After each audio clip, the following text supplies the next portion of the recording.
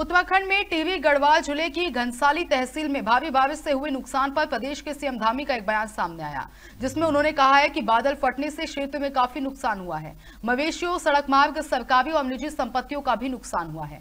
वहाँ पर जिला अधिकारी और आयुक्त को कहा गया है की लोगों को तत्काल सहायता उपलब्ध करवाई जाए और लोगों को सुरक्षित स्थानों पर भेजा जाए। आपदा से पीड़ित और प्रभावित लोगों को हर तरह की सहायता दी जाएगी। इसके तहत ही सीएम धामी ने जिला मजिस्ट्रेट और कमिश्नर को आपदा से प्रभावित सभी लोगों को जल्द से जल्द मदद मुहैया कराने का भी आदेश दिया।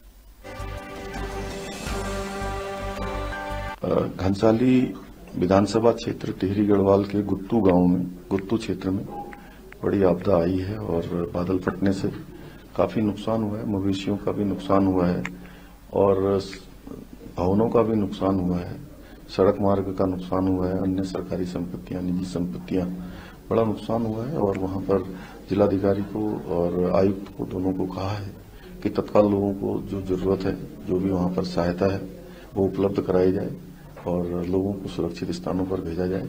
किसी भी प्रकार से जो आपदा से पीड़ित लोग हैं, आपदा से प्रभावित लोग हैं, उनको हर संभव सहायता दी जाए।